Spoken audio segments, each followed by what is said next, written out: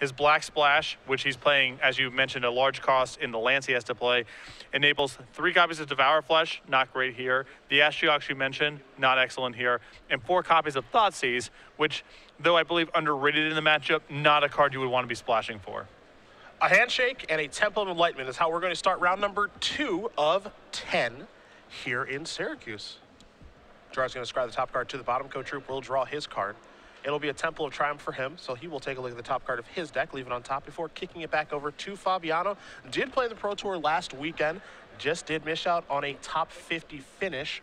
Was a little bit disappointed if you do follow Gerard on social media. Kind of made a, uh, a bit of a misplay in his last match. If he had not made that mistake, probably would have finished in the top 50. So that definitely affected him but he is still playing the same deck. He's bounced back with the help of some friends, giving some positive, uh, positive reinforcement. And in fairness, nearly everyone who fell outside of the top 50 made mistakes to prevent that from happening. Absolutely. At least Gerard was able to identify that's what happened. a Hallowed Fountain here for Fabiano. He'll be hit by a magma jet.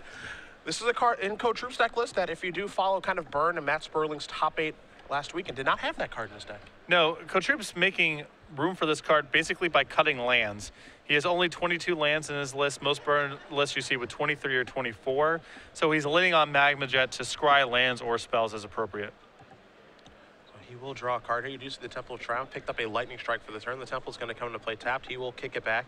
Now he does have to scry, of course, with that Temple, but it looks like he may have missed the trigger. So. Well, he left both on top with his I guess he's Jet. fine. Yeah, I guess he's fine with what he did see.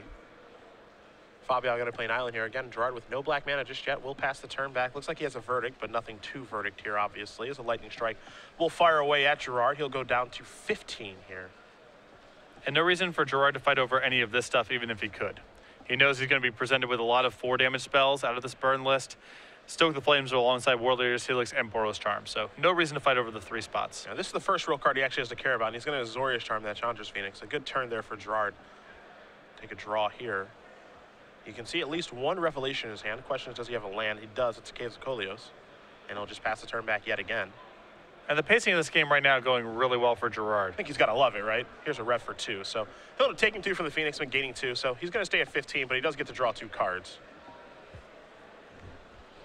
And all that Gerard needs to do is keep his head above water and uh, get to the point where he can resolve a large Sphinx's Revelation. And that's going to push him well outside of the burn rage that Matthew can generate. Yeah, that's the trick. Be able to resolve one of those, make sure you don't get hit by a skull crack, and then you're probably okay. Although I think Gerard is a little tight on mana right now. Oh, it looks like he's going to go cycling in his main phase to try to find one. So, does cycle on Azorius Charm. Not sure if he found one there. You see a detention sphere. He's going to use that to take care of the Phoenix. And looks like all he can do is pass the turn back. So a small victory there for Cotrupe. Oh, for sure. I mean, if Gerard's making just makes his land drops at this stage of the game into that revelation, it's going to be very hard for Matthew to win. So just passing of the turn, Gerard going to draw a land, plays a Hallowed Fountain tapped. No reason to play it untapped at this point. I'm sure Gerard has a lot of permission in his hand. Just nothing to do with it just yet. But he will fire for thoughts. Thoughtseize and pay three life to do so. But Gerard does, I believe, have Dissolve backup. So uh, he's willing to see what's going on in, in Matthew's hand and perhaps force Matthew to cast a spell now into this Dissolve when Gerard really wants to scry for his land drops. And there is the Dissolve that you did mention. He is going to take a look at the top card of his deck via the Scry. Did counter Boros Charm. That card's going to go to the bottom. Fabiano with two copies of Dissolve in his main deck this weekend. And there is a hand of double Warleader's Helix. See what else we got hiding out there. Stoke the Flames and a Skullcrack. Skullcrack, probably the most important of the bunch. Wouldn't be surprised to see if that's the one that Fabiano does choose to take. It makes the game a lot more awkward for Gerard to play if he has to play around a Skullcrack here. Uh, the four damage spells are the most impactful, but Matthew can't even cast them right now. Uh, and Gerard can play over the top of them with his Revelation. The draw is a Sacred Foundry off the top. Coach is going to put that pay, into play. He will pay two, and now he's going to Helix right now so it doesn't get countered. So Fabiano's going to go down to eight, and Troop's going to go up to 20. That's a big draw for Matthew that turn. Yeah, he needed to have a land that turn. If he if he did not draw that land, I, I'm not sure he can cast his spells in time to be able to win this game. Fabiano's going to go to Elspeth now. That's going to take up to five. Three soldier tokens are going to come into play. Of course, Fabiano knows Cotrupe's hand is another Helix and a Stoke the Flames, but Fabiano knows that I can't die next turn, so I'll take the opportunity to get this into play. Uh, and there wonder are the three soldiers. I wonder if Gerard's hand is a little soft here if he was willing to tap out for an Elspeth here. This is a pretty dangerous play. I mean, it allows Matthew to resolve another four damage spell. And now Gerard's Revelation is only getting three at this stage. He really needs to find a dissolve or something off of that Revelation to be able to keep his head above water. Yeah, I think, you know, in this particular situation, the land is pretty important for Gerard. He didn't find one, so he's just going to rev for three. He will draw three cards, and more importantly, gain three life. He's up to seven now. But I actually like the play of playing Elspeth that particular turn so that you can actually get your opponent underneath a, a bit of a clock here instead of just kind of sitting and doing nothing. He knew he couldn't die on the previous turn anyway. Yeah, it's just, it represents kind of a soft holding from Gerard with a Revelation in hand. I believe that if he had counter spells, he would have preferred to hold those up rather than tap out for an Elspeth. Absolutely. Cotrupe does draw a card for the turn. Again, we know about the Stoke the Flames in his hand, so Fabiano's at a virtual three right now, but Cotrupe may have to switch what he wants to do with those burn spells. Maybe he has to consider targeting Elspeth soon. I think the, the ship may have sailed. It's Phoenix. It's coming in for two. It looks like it's going directly at Fabiano. So down to five goes Gerard. Fabiano will draw a card. I did catch a look at his hand. He does have at least one copy of Devour Flesh over there, playing three of those main this week. And he also has an Elixir main this week. I'm not sure if he's found that yet, though. I think Gerard's draw step this turn was another copy of Sphinx's Revelation. Oh, good card. And that may get him over the hump here. It's an attack for six. It's a life link mm -hmm. with the Azorius Charm, the secret mode. You don't see this one a lot, but it's certainly important in this matchup. So Fabiano's going to gain six and deal six. He's going to go up to 11. That's a big, big play for him. Now that very comfortably pushes him out of anything that Matthew can generate the next turn. Absolutely. Can't die on the next turn. And uh, now Gerard can just go down the, the path of make, uh, you know, plus Elspeth this turn and make an emblem next turn and try to kill you. Which will force Cotrupe to maybe have to go after that Elspeth. Now, and with the detention sphere on that second Phoenix, now Cotrupe is probably in a horrible position because if the burn spells have to go towards Elspeth, that means they're not going towards Fabiano, and that's exactly where Gerard wants to be. It's a win-win in any situation, especially when Gerard has a Sphinx's Revelation in hand. Yep. Great spot here for Fabiano, number six on our season three leaderboard here big, big weekend for him as there's a young pyromancer. This is a Stoke the Flames. He's going to convoke just a little piece of that. And Fabiano says, in response to the trigger, I'm going to cast Devour Flesh to get your young Pyromancer. Now you can have your elemental token, and then Stoke the Flames will resolve. Young Pyromancer's token generating ability a little dwarfed by active Elspeth. One could say. So down goes Elspeth the four, but the damage has been done here had Elspeth ultimated, it would have sealed the game. And of course, that Stoke the Flames couldn't go towards Fabiano because it was not going to be a lethal one. So Fabiano's got to be thrilled where he's at. We'll have an elemental token. Chris Van Meter will make an appearance here in just a bit, but it's a fantastic spot to be in for Fabiano. Like I said, this was just win-win territory. Yep.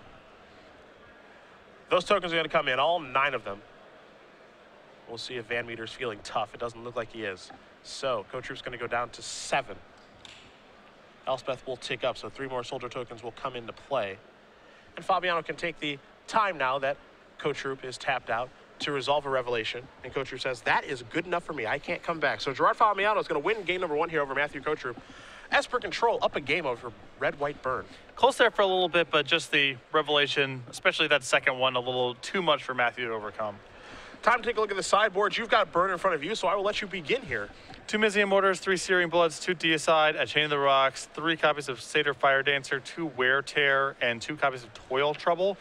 So there's a couple of things going on here that I like. Uh, the two copies of Toil Trouble, I think, have to come in here alongside.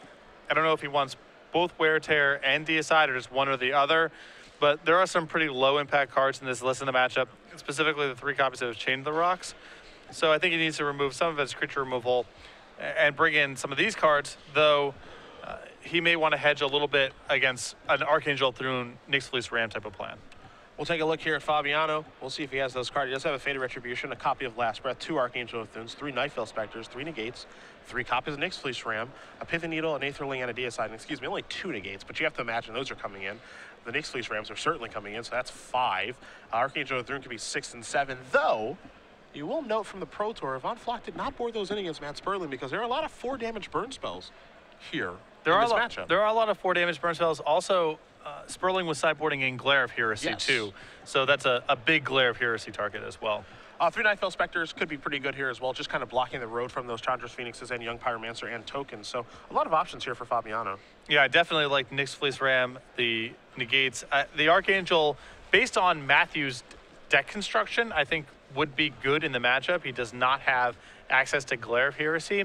But if Gerard's taking a, a page out of Ivan Floch's book, as you just mentioned, then maybe he just doesn't touch the Archangels in this matchup. And of course, Floch had the uh, ability to see the deck list, where Fabiano does not. So Yeah. that's a point in Ivan's favor as well. As we do turn our attention to a promotion that is almost underway here as we're almost through August. It is Star City Games Game Night coming in September. And international signups are available now as well. Absolutely. Uh, uh, we're hitting the deadline for September signups here. It's two pins, eight foil tokens each week, new pins and foils designed each month. You see the September set there up on the board every Wednesday night in September. StarCityGames.com slash game night for more information. Stores, tournament organizers, if you're looking to run these and you want to get involved in September, it's got to be basically now. I believe the cutoff is August August 11th. August 11th, Yep. right. Also, these are more casual focused tournaments, so sanctioned, unsanctioned, whatever format you want to run, uh, just get some more players in your store participating in the game, a little more foot traffic. And of course, who doesn't want those squirrels? Exactly. Our bushy-cheeked fellow. Star City Games Game Night, starcitygames.com slash game night, hashtag SCGN. And of course, if you need more information, game night at starcitygames.com for your emails. We look forward to hosting those in stores beginning in September as we do turn our attention back to our match here and how big of a week this big of a weekend, excuse me, this is for Gerard Fabiano. We saw last weekend for Lossett. He needed to have a very strong weekend to expand his lead because we do have a tournament here in Syracuse this weekend, and in two weeks we'll be in DC. Tournaments that it looks like Joe will not be attending. Joe kind of came through in the clutch there, top eight in the Legacy Open, top 32 in Standard. Now it's on these guys from this area, Fabiano, Bertoncini, and Merriam, to really put strong weekends together. A lot of pressure and not that many tournaments to get done. Though, keep in mind, it's not just about season three for Gerard. Uh, maybe he doesn't snag the point invite, but season four or one of the eight at large bids at the end of the year, both definitely in play for Gerard. Yeah, we know one of his goals this year is to qualify for the Players' Championship. He has said as much in the articles that he does write for Star City Games. Uh, you know, he did a really nice Esper report this Friday that went up about just his Pro Tour experience, how he was playing the deck, and how he's looking to combat the brand new and very popular Jund Planeswalkers decks that I imagine we will see over the course of this weekend as well. Yeah, it's kind of come out of nowhere uh, over the last month or so and Yep. become a pretty consistent performer on the Open Series. You know, one thing you notice too, if you've read the Pro Tour reports over the past week, is a lot of teams were, you know, they gravitated towards that. Barry Smith top eight in Kansas City, lost in the finals to Scotland playing green white, and a lot of people were like, whoa. Okay, this is an interesting deck. This deck looks very, very powerful. A lot of professional teams testing that deck, uh, kind of opting to go different directions. I know that a lot of teams, up until the last minute, were considering playing that deck, and you saw Ichikawa and Mondin make the top eight with that strategy. And truth be told, pretty different takes on the strategy. Well, that's what's awesome about Jund. There's so much room for customization with your threat and removal suite. Some lists playing, you know, Polukranos and Stormbreath Dragon, and some basically having no creatures in the list and just relying on Planeswalkers to carry the day. It's game two. We're underway here. Temple of Triumph will start things off here for Cotrupe. Fabiano will draw a card. He's got a temple of his own. It's the Silence variety. That card is going to take a moment to look at, decide where it's going to go. Fabiano going to consult the grip here. Don't have a great look at his hand. One thing you can see is negate. There is also a Sphinx's Revelation there. Fabiano's going to put that card to the bottom before passing the turn back over to Cotrupe. I think Gerard has another land light offering. Fabiano will draw cards. Copy of Hallowed Fountain. Looks like there are two of those over there. Maybe a Temple of Enlightenment. Similar artwork on the cards, but they're lands. That's all that really matters at this point. It's very challenging to burn out Esper from 20. It can happen in some games, but Cotrupe could really use a creature supplementing all of this. A Lightning Strike at the end of turn is not a creature, but it will deal Fabiano three points of damage, put him down to 17. Yeah, I think it's really important to have a creature on turn two, as you did mention. Pyromancer, or at the very least, a copy of Chandra's Phoenix on turn three to get the damage in. Furthermore, if Cotrupe is going to lightning strike here, he may as well do it on his own turn while Gerard is tapped out or Sure. effectively tapped out. It's really risky when you're on the burnout from 20 plan to allow Gerard to basically counter anything. Yep. Nightveil Spectre has shown up to the party. That'll blink future Phoenixes, Young Pyromancer as well, but a Lightning Strike is going to take that down. And if you're Fabiano, that's got to feel like a win. That's not going towards you. It's also a pretty cool card to sideboard in because if you're familiar with the sideboarding cards that Matt Sperling had at the Pro Tour, you know that he had Glare of Heresy and Wear Tear, Yep. neither of which touched Night Veil Spectre. It's a Warleader's Helix going upstairs, so Cotrupe will take two from the Sacred Foundry and then gain four. So he's up to 22, while Fabiano goes down to 13. Fabiano will draw a card for the turn. But this he is play just a Hallowed Fountain. this is just great pacing for Gerard. Absolutely, and there's Yeah. an Elixir of Immortality, and he's going to do this maybe now to play around Skullcrack, but he looks like he's going to wait. Would you have maybe fired it off there? Possibly, but he also may not be. You know, he may be in the spot where he's happy if Matthew leaves up two mana for the whole game. That's true. Temple of Silence here for Fabiano. Take a look at the top card. That top card will stay on top before passing the turn back. You know, is Cotrupe just never going to tap out? Okay, Gerard's probably happy playing that game. This is Magma Jet. He can set up a sequence also where he says, "All right, end of your turn or end of uh, your turn, activate the elixir with the intent of having it get skullcracked. Untap large revelation." Sure. Time to scry here for Matthew. See where he wants to put these two cards. But Cotrupe can leave up mana much less effectively than Gerard can. Part of this is a consequence of the number of lands in each player's deck. Gerard's playing 26 or 27.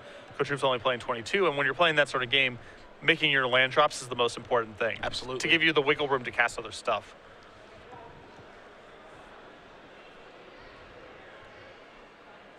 Fabiano going to tap two here. He says, I'm going to fire this off. There's a skull crack. This is a negate. That works out, that works out great for him as well. Gets the skull crack out of his hand. You have to imagine, all right, and also gets to shuffle the negate back in, mm-hmm. which is actually pretty nice, I think, all things considered. What's another important thing here is forcing the burn player to cast spells under your terms of engagement. Gerard induced it there because he was happy to use the negate. He doesn't want Matthew to untap and just pass the turn and then Gerard's being inefficient with his mana. He wants to force Matt to collide his spells into the counter spells that Gerard presents. So doing it like Gerard just did, just awesome sequencing. Fabiano going to tap three now. There's another copy of Veil Spectre. And happy, I think, to pass the turn back over to Cotrupe. Going to fire off. I'll stoke the flames. Gerard's doing a great job of navigating these games. I like the pacing here. I do like the pacing. Because, you know, the big trick here is he's just trying to set up a revelation. He's already got one Skullcrack out of the hand. And can he play around another one? Of course he can, and- he probably will. But knowing that one is already eliminated is certainly powerful. as He's going to come in here with the Spectre. Besides that, we're getting to a spot where Gerard might not even care that much. He may be able to win with the leftovers even if a large revelation doesn't resolve. A Boros Charm off the Spectre, and a Mutavault comes into play. This is a war Warleader Helix. I have a, if Fabiano has a revelation here, I have a feeling we're going to see a response, and we- will see that.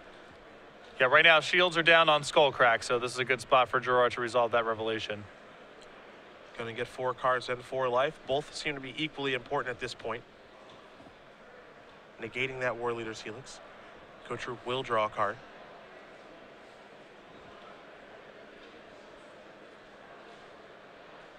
Now, what I mentioned before that Cotrupe really needed a creature, Mutavault could have also fulfilled that role. Yeah, much earlier in the game. Mutavault does come across for two. Fabiano's down to 10. For Gerard, after he does draw a card, he's looking at a whole lot of cards right now. I believe staring at seven of them. At a relatively healthy life total as here comes the Nightveil Spectre yet again. We'll see what the top card will be. This is a War Leader's Helix. Heaven forbid Fabiano find red mana now. He might just burn out Cotrupe. Yeah. it's a Jace. Fabiano gonna figure out exactly what he wants to use for the fourth mana.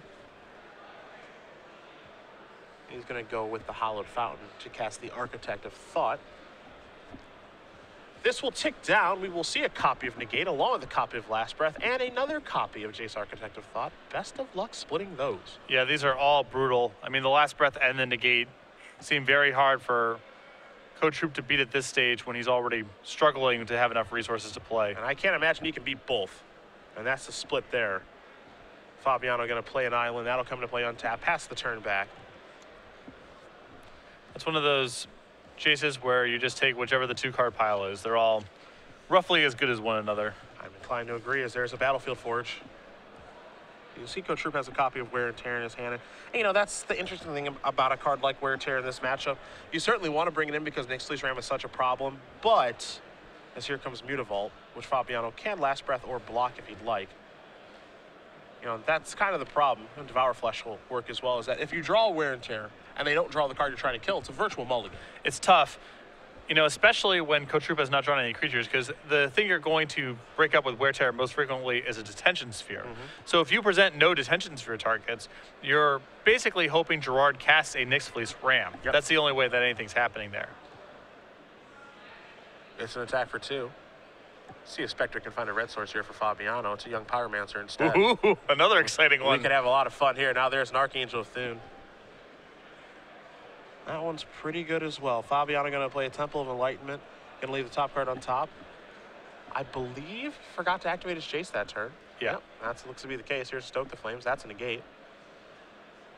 A small misstep there from Fabiano. You saw him tap on his Jace saying, I, I did forget to do that. Here's four mana. There's Stoke the Flames again. So there goes the Archangel, a card that has to be killed. But again, those are cards that are not going towards Fabiano as he does draw a copy of Thoughtseize for the turn. Spectre going to come into the red zone. Cotrupe going to take two more. We'll see what the top card is. That's a Boros Charm.